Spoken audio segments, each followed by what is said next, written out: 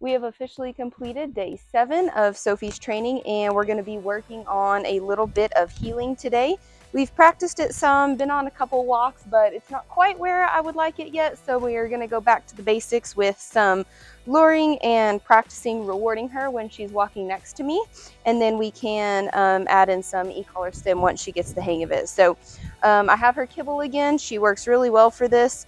And a lot of what I'm going to do when I walk is hold my hand and make her work for it right here. And every now and again, I'm going to release one of those uh, pieces of kibble out of my hand to reward her so that eventually we can walk and start spacing out our time between rewards. And as long as Sofie is walking next to me, she knows that she will eventually be paid for walking in this position. Good girl.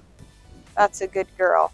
What I don't want to do is reach my hand, let me turn this way, is reach my hand further out and be rewarding her when she's this far ahead of me because then that will be the expectation um, whenever she walks. I would like her um, about her collar or her ear in line with where the seam of my pants would be. Don't steal the treats from my pouch. And then that is how she's going to be, get paid. So if I am inconsistent about sometimes rewarding her here and then sometimes rewarding her back here, same idea. I don't want her um, slagging behind um, whenever we're walking. I would like about right here. And then again, every now and then, I'm gonna release a piece of that kibble and pay her as I'm encouraging her to heel. That's a good girl, Sofie. Good. So whenever we line up, good. Sit.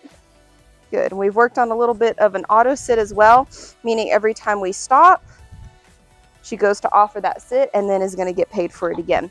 So um, since it's a little bit windy, hopefully you can hear me in this intro. I'll fix the video if not, but I'm going to go ahead and speed this up and do a little bit of heeling around the yard and show you what it's going to look like.